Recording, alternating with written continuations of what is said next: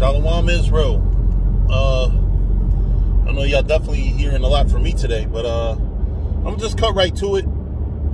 Um, it dawned on me today because I don't know if I told you know anybody, but I work with a lot of Issachar, so-called Mexicans, and it's funny how Mexicans are the 12th tribe on the on the board, the the the historic 12 tribes chart, right? That people keep talking shit about.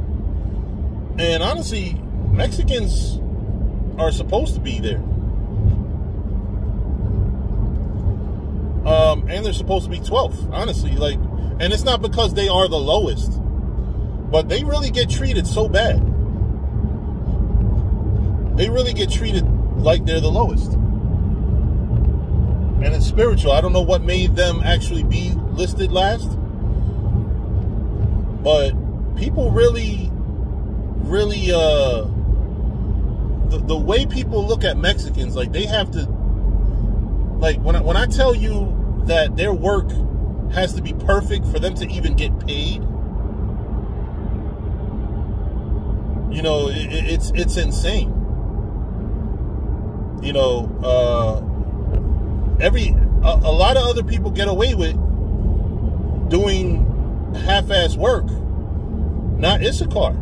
Mexicans have to really, you know, they, they have to do what they have to do, man. Their their their jobs and lives are not easy, and it's not even just just their work life. Also, the way they're treated in Cali. Like a lot of times, we we we're quick to hear from black people that are getting oppressed and picked on by Mexicans. We don't hear what a lot of so-called black people who have done to Mexicans over there in Cali. You know, all of all of it in our ignorance, but you know, I remember I was watching a a video of Vlad interviewing, I don't know if it was uh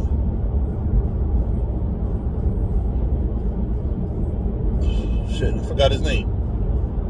Mob I don't know if it was Mob James or it was the the other guy, the Crip version of Mob James, basically. And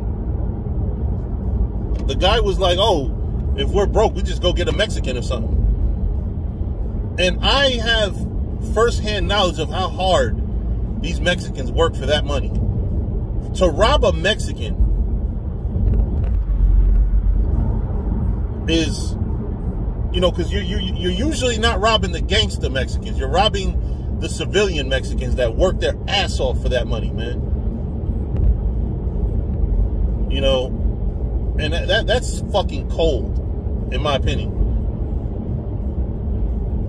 That's fucking cold. That's evil as hell. I mean, it's evil to rob anybody, but when I tell you that this is the hardest working tribe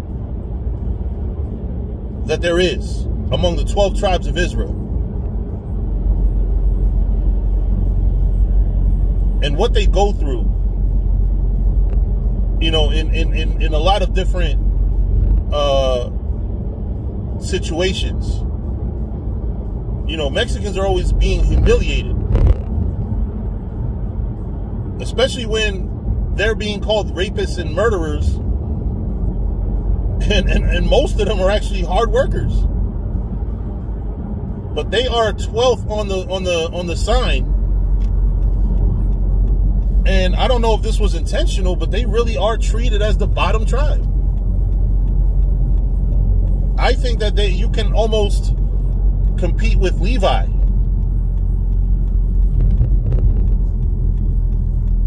For how poorly they get treated. But even Levi gets a little bit of change and, and then they start acting brand new and shit. So I don't even know what that. You know, it really is insane to me how how these people these people get treated badly, man. And I don't know. Um but that's the that's the, you know, the inspiration behind this video is just just in general because i'm not just talking we treat them good my my company i work with we treat our workers great You know, but I be hearing what they be having to go through sometimes, man. And like I said, to even get paid, their work has to be perfect. I've seen and heard from some of the some of the ones that came over from other companies. This is like, yeah, wow. I mean, we we we do a damn near perfect job ourselves here, but um, but we take care of them accordingly. You know what I'm saying? There are there are people that have construction businesses that don't even pay their guys, or or they have to wait forever. Like the music business, niggas have to pay for their royalties. Mexicans be having to, you know, sometimes like like yo, they get they get scumbags in the construction business that just take their sweet fucking time to pay them. You know, and it, and it is it, it is really insane, Akim, the stuff that I hear from Mexicans about how people treat them. You know, but with that, I'm gonna say shalom.